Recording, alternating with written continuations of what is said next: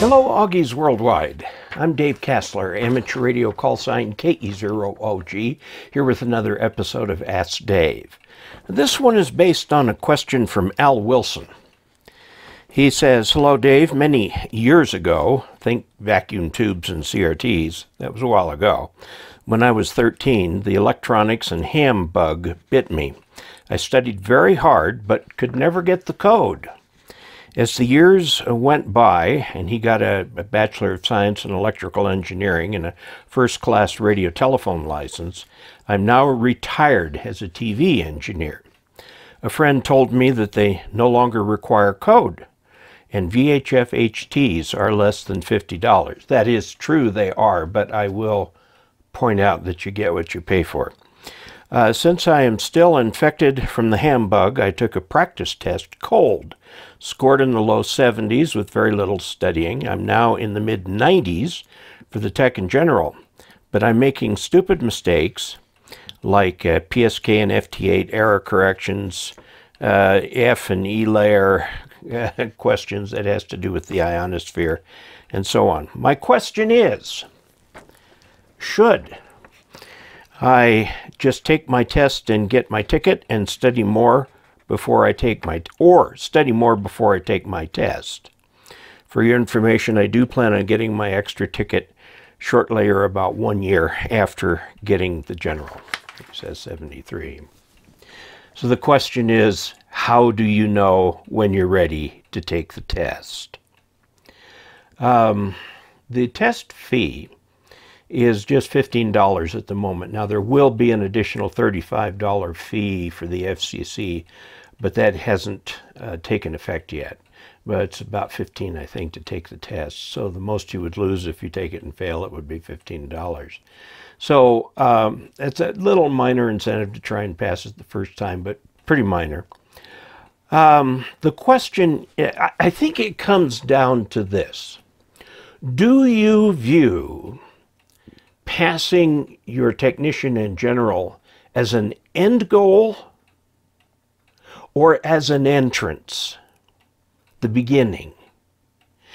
I would like to think of taking and passing the technician test and the general test as the beginning of your ham radio adventure. You've opened the gate and found your way down the path, but you've just barely gotten in the garden and can't enjoy the garden's delights just yet until you do a little bit more exploring. Now, you need 70% to pass uh, the exam. Um, when you think about it, you can miss several questions. We've got 35 questions on the tech, 35 on the general, and 50 on the extra. I have suggested to many people that if you like passing tests, go ahead and pass your your tech and your general get on the air and wait two years before you get your extra because by then it will be extremely more meaningful to you than to just pass the test and say, okay, I've done everything there is to do. I have seen a lot of people who go zero to extra in one sitting who don't last very long in ham radio. Um, I know of one personally who lives, oh, 30, 40 miles away from me, uh, who, after he passed his extra, came to me and says, What do I do now? And he says, I got to get a radio. Well, I said, Why don't you watch some of my videos and really learn how ham radio works?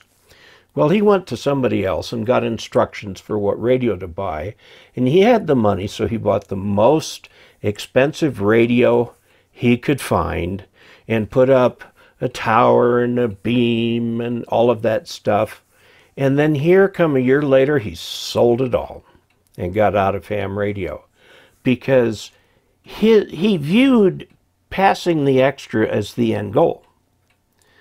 And it's not. It's a beginning. It's a way station on your journey to, you know, really understanding what's going on, having a lot of fun with it. And, you know, if you stay with ham radio for a while, there will be at least a piece of it in which you will become absolutely expert, whether CW or DXing or something like that. You'll really know how it works. I had a question from a patron yesterday um, wanting to know um, about the percentage reliability of a link connection uh, at different power factors. And unfortunately, that question doesn't really make sense in terms of the radios that we have. Now, some commercial company may try that after a lot of experimentation and a lot of modeling of the ionosphere may come up with some link reliabilities, but it's just not something hams do. Um, we tend to say, okay, I want NVIS over a 100 mile distance at night, so uh, I'll put up an 80 meter dipole 25 feet, which is pretty low, and then use 100 watts. And that works a lot of the time. That's about the best uh, we can say. Ham radio is a kind of a best case uh, symptom. We like to see what kinds of communications we can do when conditions are at their best, their peak. Just what can we eke out? Um, whereas commercial communications, they have to go for the worst case. The policemen have to be able to get to the 911 center under any conditions. So you have to put in a system that's designed for whatever um, service level agreement you have in mind when you put that sort of stuff together. Ham radio doesn't work that way. So when are you ready to take your test? Um, I advocate, as you know from my videos, I've got videos on training for Tech General and Extra. I try to teach a person so that when they get their ticket, they're a ham, not just a ticket holder or license holder, but they're a ham. Um, now, let me give you an example from airplanes. I had ground school from Sean McGrath, who is a ham and a patron and a mentor um, in, uh, I think, Vermont. And uh, he gave me ground school over um, um, not not Zoom, but uh, the Microsoft system, which I can't remember right now. Sign of getting old.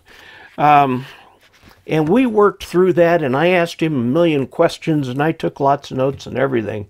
And then he said, Get the book. This is the question and answer book for the sport pilot test. Um, the FAA doesn't make the test questions public like the FCC does, but they did at one time, and enough of them are public now that they were able to put a book together. And he says it's a pretty thick book um, on things that I needed to know for my uh, sport pilot test. And he says, do not take the test until you have laid eyes on every single question in here and have answered it to your satisfaction. If there are any questions in there where the answer seems strange, call. And I did on some of them. I couldn't figure them out. But I did. I went through this all the way and uh, I passed the exam first sitting. Uh, the score doesn't matter, but it was a 90. Uh, well, it does matter a little bit in the FAA because they will tell you basically the knowledge areas you were deficient in on the exam, and then you have to go back to your um, instructor pilot and uh, get retrained on those issues, and there's actually a signature involved that that has happened. It's not that way on ham radio. In ham radio, the score doesn't matter. No one, no one cares about your score, what you passed with. You may care about it. You may have wanted to pass with a 100 or a 70 or whatever. If you get the 70%, it's actually a little bit more because uh, 35 questions doesn't divide exactly by 0.7 um, or multiply by 0.7 and give you an integer answer. Um, if you get a 70 and you never tell anybody, it's the same thing as if you got 100. Okay? In fact, on my extra exam, I took my extra exam as practice because well, at th- that time, the fees were quite a bit lower, and, and I was working with the youth group, BARC Jr., up in Boulder. And uh, I took the, uh, the, the code exam back when it was 20 words a minute, and my page was gibberish. However, I have had enough CW contacts in my life that I could pick out the key parts and and scored a 90 on the test, which was passing. So I took the written exam, and the written exam, well, of course, there's no code test today. The written exam, um, I wasn't really ready for it. I wasn't really ready. I took it, I handed it to them, and then I said, Tell me if I passed or did not pass. Do not tell me my score. I don't want to know my score. And they said, You passed. I said, That's all I need to know. That's all I need to know. Needless to say, some of the studying uh, went by the wayside, but then I started to, um, you know, really dig into this. And probably the best way that I've learned about ham radio is through this YouTube channel, because I have to learn in order to teach. And that's it's a it's a truth that the teacher always learns more than the students. And I've learned a lot of things by looking into a lot of things. So, where does that lead us? When do you take the test? If you are getting in the 80s and 90s on your practice exams, you're probably ready to take the test. Unless you're a perfectionist and you want to get everything right. But I'm going to be honest, I'm not sure that's going to do you a huge amount of good to be a perfectionist.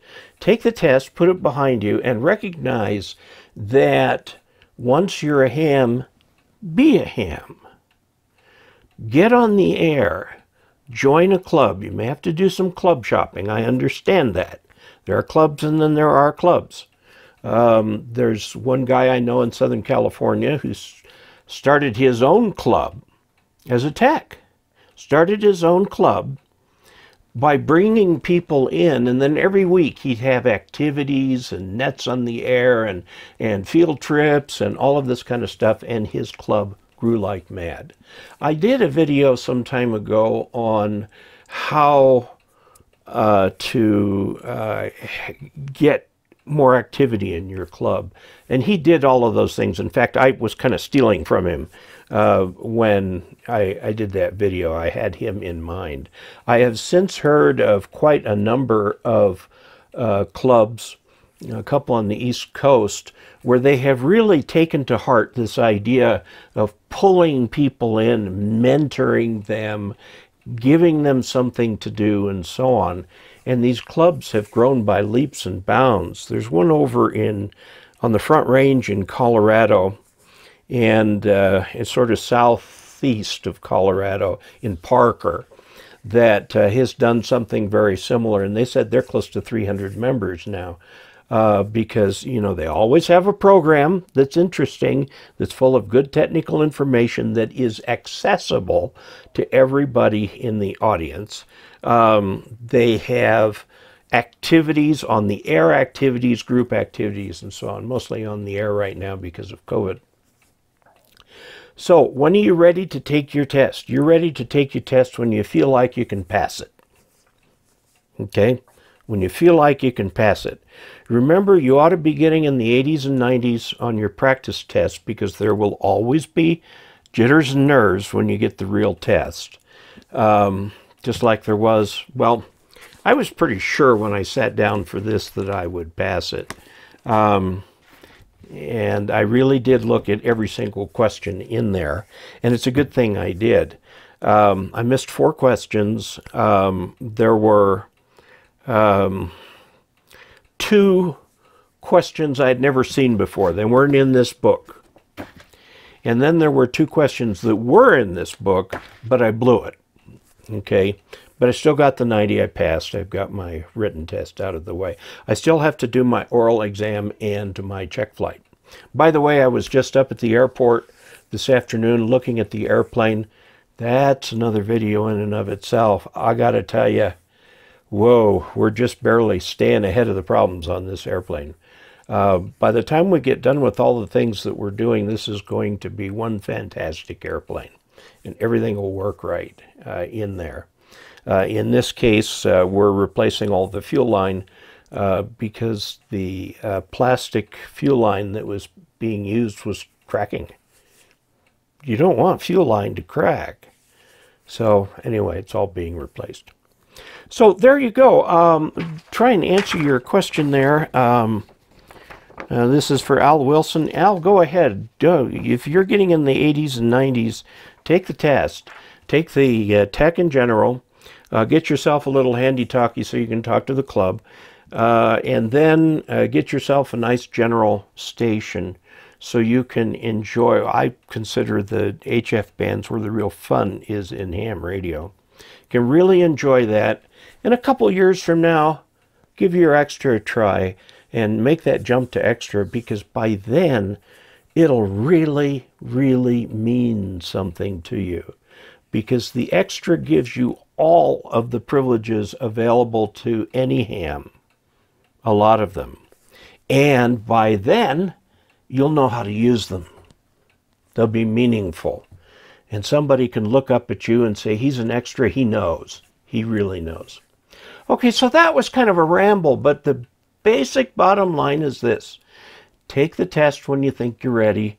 If you're in the scoring consistently in the 80s and 90s on practice tests, you're probably ready to go take the exam. If you want to take the tech in general at the same time, go for it.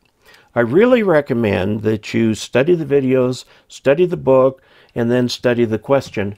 And like my instructor told me on this book, lay your eyes on every question and make sure the answer makes sense. If it doesn't make sense, go talk to your Elmer and find out what's going on. Okay, if you'd like to help support this channel financially, you can go to dcasler.com slash support.